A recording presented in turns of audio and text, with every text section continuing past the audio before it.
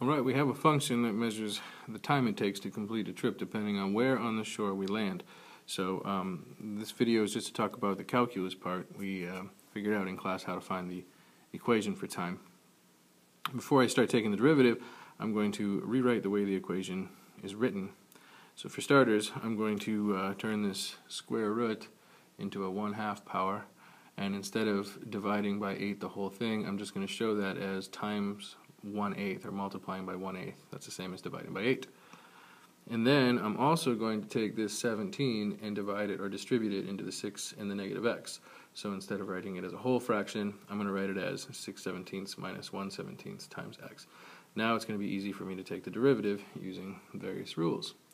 For starters, I'm going to take the 1 half times 1 eighth, which equals 1 sixteenth. Half of an eighth is a sixteenth and carry in the inside.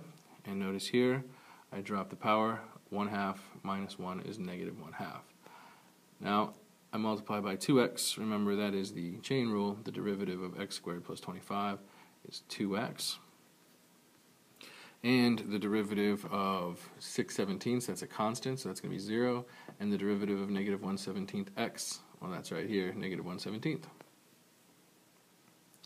Just to clean it up a little bit, just uh, take the negative uh, exponent and move that whole thing down into the denominator. And that half means square root.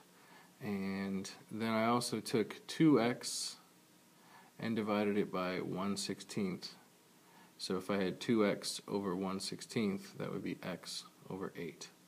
So the square root part comes from up here and the x over 8 comes from the 1 16th and the 2x minus 1 17th. So that's my derivative.